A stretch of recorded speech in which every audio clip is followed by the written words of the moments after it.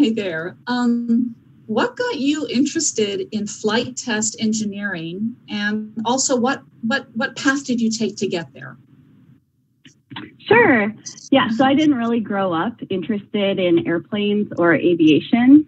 Um, when I graduated high school, I knew I really loved math and science. So I talked to my career advisor in college. Uh, I had heard about mechanical engineering and I'd heard about this thing called aerospace engineering, but I didn't really know what it was. And when I asked her what she thought I should do, she said, Not many women are in aerospace engineering, so I think you should do mechanical engineering.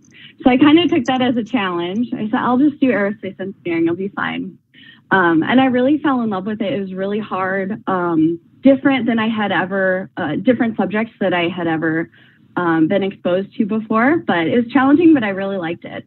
So I got my undergrad, uh, undergraduate degree in aerospace engineering, and then I stayed on to do my graduate degree in aerospace engineering. And I worked in uh, my college's wind tunnels. So I worked on a really big closed return wind tunnel. And I did my thesis in our simulator, uh, tornado simulator tunnel, uh, studying tornado debris trajectories and modeling that uh, with computer simulation. So when I applied for Boeing, I applied at the career fair um, because Boeing was the best company that was there at the career fair for aerospace engineers. Uh, I applied uh, for a flight test engineering job because I saw tests. I had been in the wind tunnel. That's also test, but I didn't really know what I was getting into, just like when I started in college.